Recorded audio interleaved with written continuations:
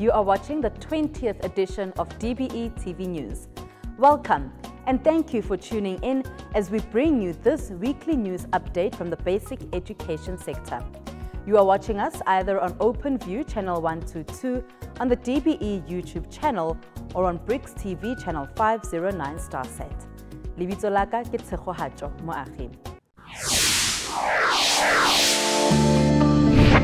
In the news this week, Matric learners are preparing to write their final exams from the 27th of October.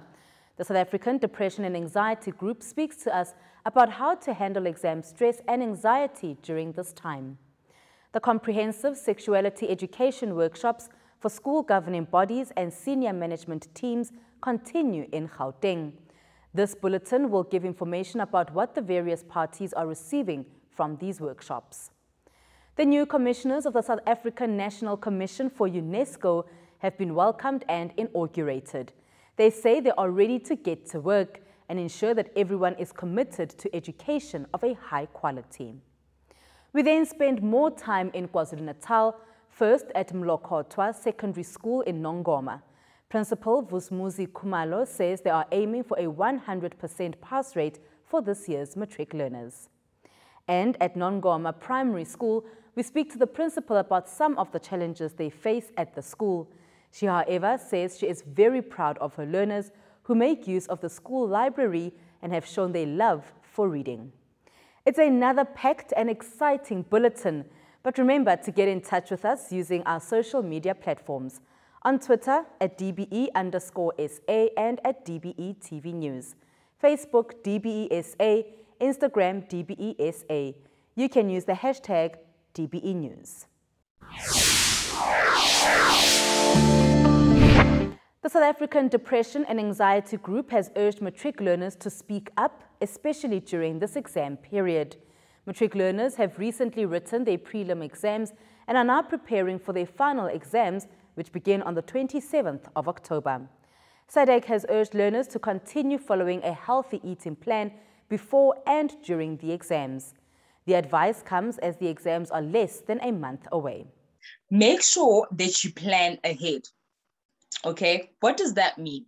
It means creating a schedule, creating a schedule that you will be able to use, creating a schedule that you will be able to sustain and maintain and stick to okay so this is how your schedule would look like for example you you are writing geography and you're writing mathematics first you want to, in your schedule, put down chapter one of mathematics, chapter two of mathematics, chapter three on mathematics, five, six, seven. Or you could say on a Monday, I'm going to start, I'm going to study maths. On a Tuesday, I'm going to study geography. On a Wednesday, it's going to be, um, uh, what else do you guys do? It's going to be technology, or it's going to be natural sciences, or it's going to be science. Whatever um, subjects that you are currently doing, put them on a schedule, put a time slot that I'm going to study between these and these times. And after you finish each and every chapter of studying, have a set time for you to examine yourself or to test yourself. Someone would ask me, where do I get the questions to test myself? Number one, you can use past question papers that your teachers have given you. You can download these past question papers from the internet. You can create your own examinations using the questions that you um, take from everything that you would have studied. The group says learners should find ways to relax if they feel overwhelmed and possibly anxious. When it's time now uh, for you to go and write the exam, make sure that the day before their exam, you do not cram this is the day for you to do a short revision where you just browse through everything that you studied when you did your whole preparation weeks before, because there isn't procrastination here. Um, that is what you do the day before, but you do not cram, you do not force things into your head the day before the exam. What happens is that you will get to the exam and then you're going to be very anxious, you're going to be very nervous. And some people actually experience panic attacks, they experience blackouts, which is not healthy, it is not good for you. Okay. So make sure that the day before the exam, you would have studied everything and you're just revising. And on the day of the exam, you arrive at least 45 minutes before the, the, the time starts for you to write so that you can get time to sit down, to breathe, and um, you ha- can have time to just collect your thoughts. And this also helps you to avoid things like panic attacks and blackouts during your exam. And during your whole entire time of preparing for these exams, make sure that you provide yourself with self care. Okay. Make sure that you take time out to take care of yourself, do things that make you happy. This could be playing soccer, it could be playing with the children in the streets, it could be going out for a movie. Make sure that you use time away from your books to make sure that you take care of your mental health by taking care of yourself. To this now. The Basic Education Department has reiterated the importance of subjects such as life skills and life orientation. The department is holding comprehensive sexuality education workshops for senior management teams and school governing bodies in Gauteng. CSE aims to ensure that the department assists learners to build an understanding of concepts, content, values and attitudes related to sexuality, sexual behavior change, as well as leading safe and healthy lives. The Gauteng Education Department says it's important to know how many learners have received the scripted lesson plans. The number of learners receiving the scripted lesson plans, that is very critical. You know, we've got schools already that have started, but it was on a more sporadic basis. There would be set of forms, the documents, and the books that uh, uh, Virginia was, was uh, showing you. Those school, those books, the learner books and the, and the teacher guide, educator guide, those are going to be uh, delivered directly to your schools. Okay. So you are not going, for the purposes of the workshops, you have seen that you have only received the copies. But that is what we are not, that is not what is going to be delivered in those schools. And one educator said, you know what, I don't like this black and white thing. Even if I want to read it after hours, really it puts me down. I need something with color. So we are assuring here to say, National has indicated they've got all your, your databases in terms of your learner enrollment. Uh, so that information is there. So they will be delivered. Although these workshops are being rolled out throughout the country, Gauteng seems to be leading the pack. They've also engaged teachers about the importance of using the worksheets. So if we use our worksheets, learners become engaged. Engaged.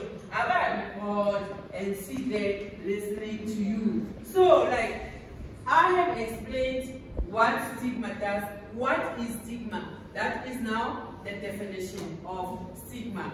Okay, and then now after, after that, grade five, you know what stigma is and what it does to the other person. Okay? Because stigma is negative, and then what will it do? When we use ugly names uh, to call other people, what it does, they will drop out of school, they will always be sad and lonely, they will sit all alone, and they, sometimes they even commit suicide. They kill themselves because we stigmatize them. The chairperson for the South African National Commission for UNESCO says he is confident that the work done will be far more visible in the country for the next four years. Basic Education Minister Angie Motshekga welcomed the new commissioners of the South African National Commission for UNESCO and during her speech, she spoke about the importance of UNESCO to South Africa.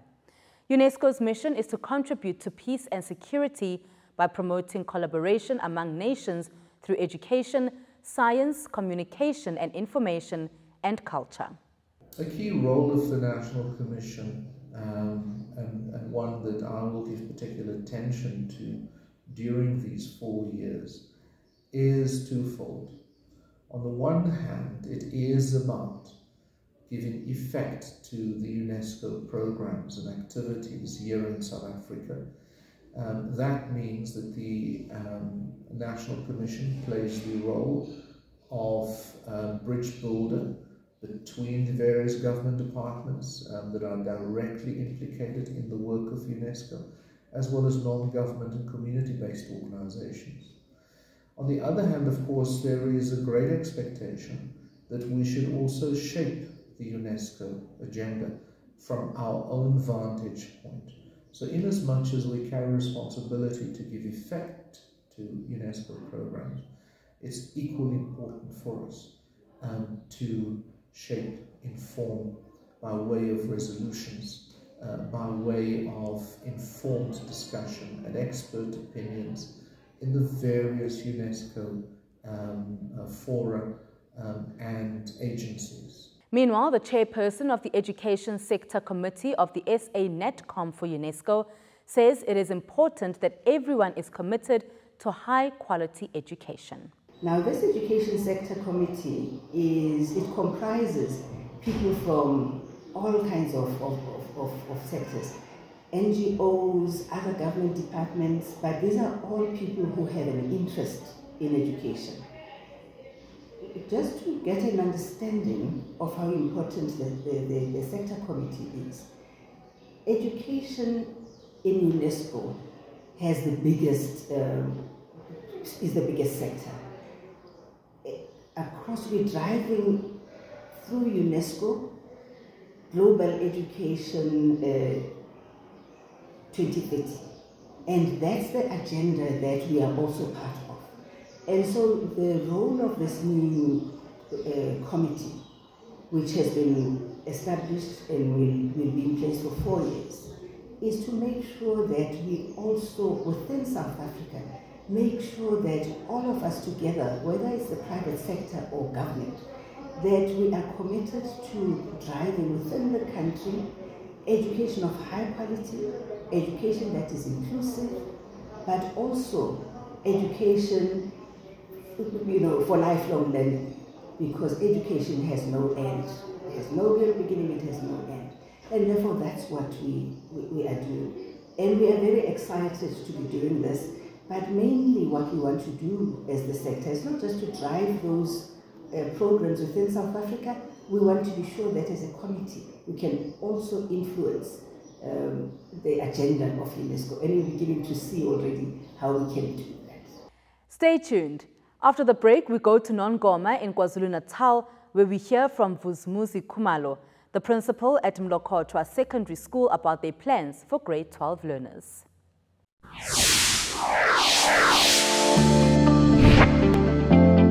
I am a nurturer, like you. you. Real men stand against gender-based violence. I get hurt, like you. If I am a victim of violence, I too will not be ashamed to report violence and abuse. I hate it when someone violates me, like you. In a violent situation, there is power in walking away. I will not take part in fights at school. All I want is to feel safe, to feel loved, and to be free to show love. Like you. you. I cry when I'm hurt, because to feel is to be human. I pledge to be more open about my emotions. Make it part of the new normal for young boys to be nurtured and loved, to freely express themselves and to show love in a safe, inclusive way. We have different gender identities, but first, we are human. If you need assistance to help your child, contact Childline on 08000 55 555.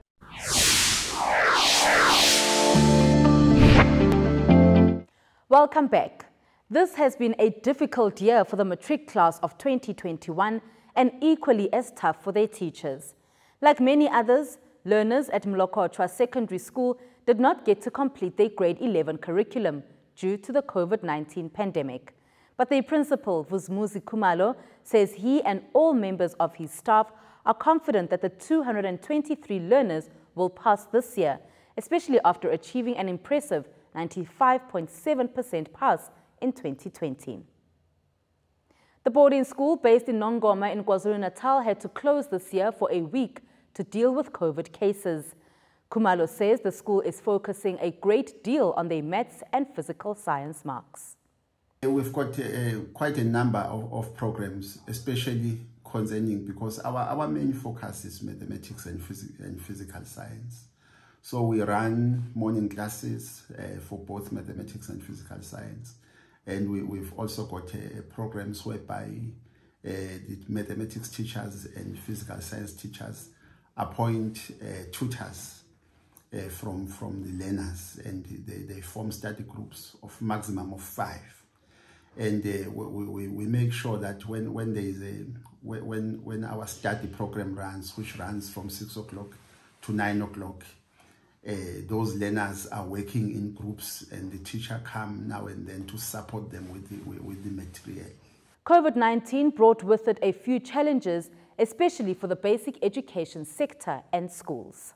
As a boarding school, the main challenge that we have, uh, especially this year with the COVID regulations, is that now and then there must be programs that that you do with the learners. Uh, it, may be entertainment, it may be social programs, uh, but but this year because of COVID, we are unable to do those those those programs, and uh, we, we we see that uh, there there are some evidence of, of, bullying that happens now and then because that is the main thing with the boarding school.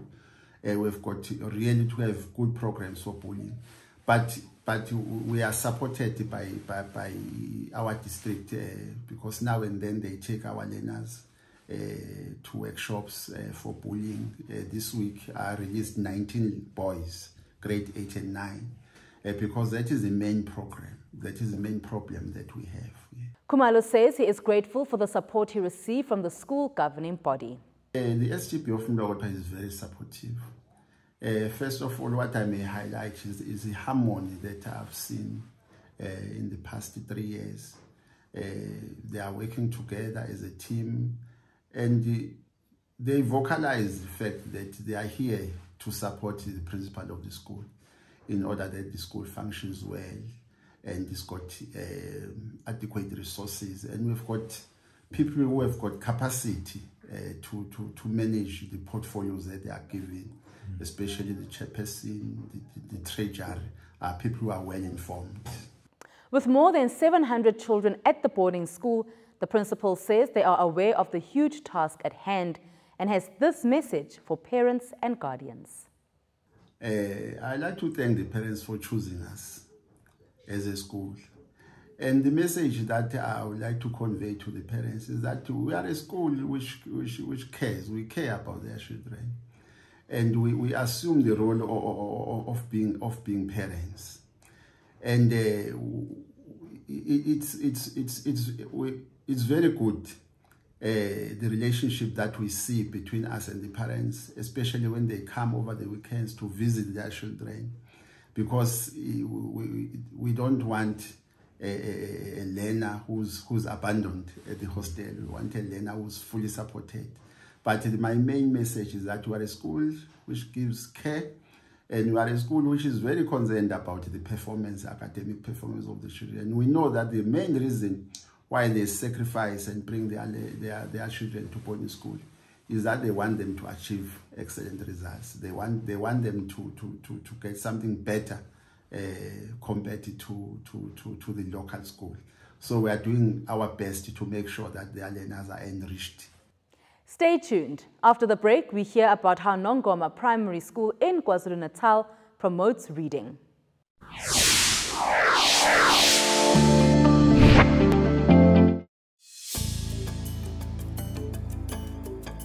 Our universities are very important institutions. Many people tend to know them just for teaching and learning. Yes, they are for teaching and learning. But also, our universities are research centers. A lot of knowledge that we have generated to deal with COVID 19, even the identification of these new variants, like the latest one, Delta, has been done through researchers who are based in our universities.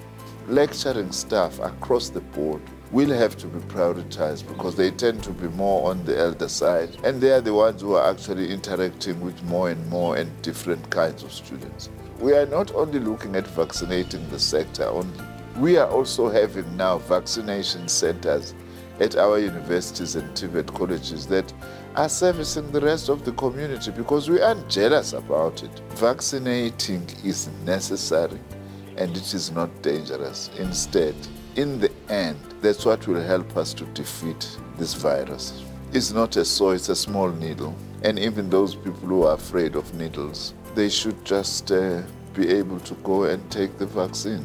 The fact that the World Health Organization has asked us to be the first technology transfer hub to produce vaccines outside of North America and Europe is a vote of confidence in our scientists and in South Africa's science system and productive capacities.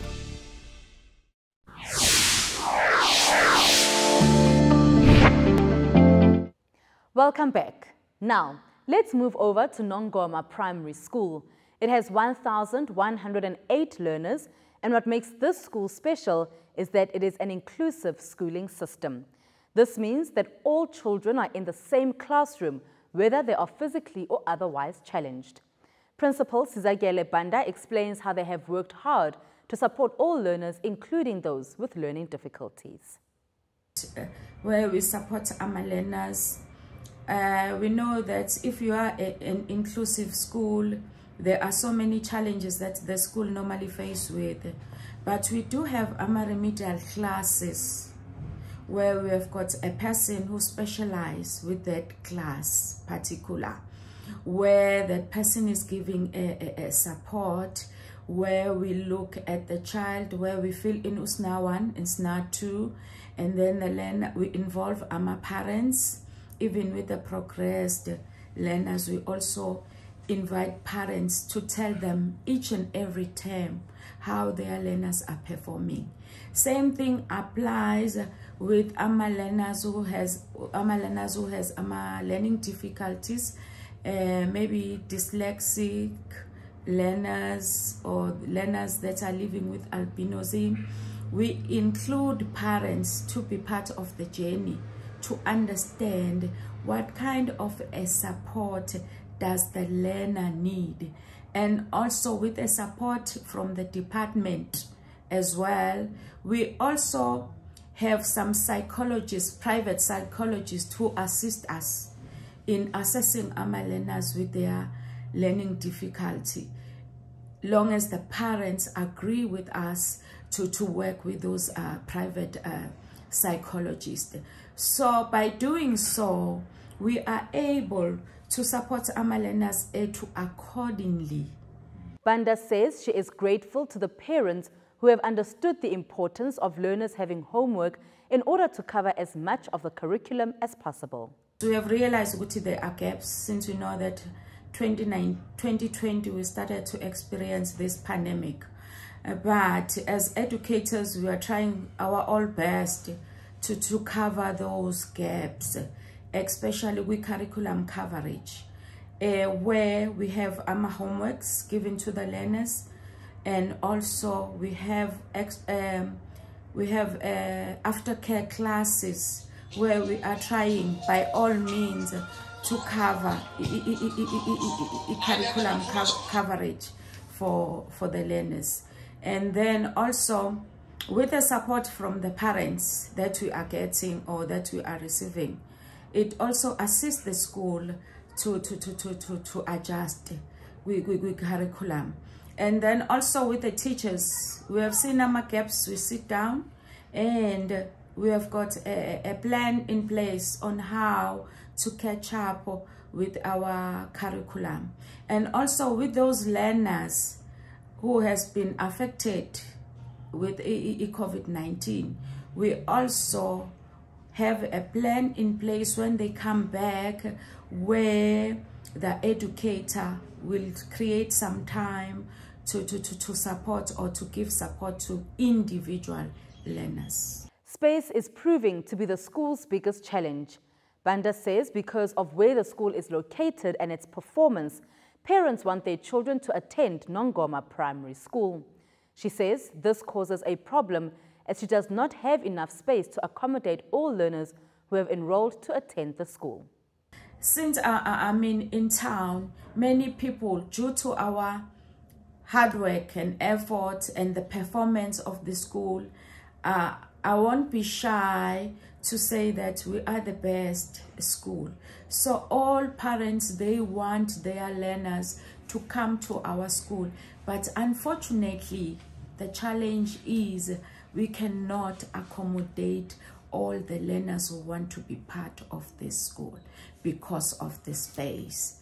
Uh, we are just pleading from the department if we can have maybe look at the structure of the school and see how can we add more classes since we are also inclusive school um, where we support learners with uh, learning difficulties so parents really bring their kids here to our school because they know the kind of support that we can provide to their learners. Staying with the school, the principal says reading is important for her and her teachers. They have come up with innovative ways to keep learners engaged in reading. Each grade gets a turn to be in the school library in a bid to encourage learners to read. They have even set up a mobile library so learners can continue reading at home and during school holidays. We are in the library where you could see grade 7, it's their period for e, e, e library. Each and every class, they've got a, a period where they come and read in the library. Our reading is done into three portions. The first one is where we have got a special beehive scheme where the learner will go and read at home and the following day the teacher will be able to test the reading. And then also we have got this section at the library where they come for an hour just to read and do some library activities that are promoting e-reading. E -e right now as a school, we have moved to a digital library where the learners will be able to have an access in their cell phone at home or in their computers at home. They'll be able to get a, a library at home instead of going to the library itself, but now it's going to be easily accessible in their home. And that brings us to the end of this week's news roundup on Channel 122 on OpenView, on YouTube and on BRICS TV Channel 509 StarSat. Remember to stay safe and to comply with all the COVID health protocols. We end this bulletin with a reading piece from a grade 6 learner, Lula Makaki, at Nongoma Primary School. She's reading The Boy Who Cried Wolf. Until next time, it's goodbye from me and the entire team. Thank you for watching. There once lived a naughty shepherd boy named Ralph. He was still a wee lad and wanted to jump around, play and do no real work. But alas, he was made to take the boring ship out to the graze in the green meadows every single day. Oh, I'm bored, I'm bored, I'm bored. He sang in a sad little voice one afternoon. He sat and wondered, then stood up and wondered, and finally lay down and wondered what he could do. And then, and then an idea struck to him. Wolf! It's a wolf! he cried at the top of his lungs. Somebody save my ship! Bah! The big wolf is going to get me! Help! The, the village baker, the mayor, the butcher, and the workman all ran out with rakes and muskets, ready to beat up the bad mean wolf.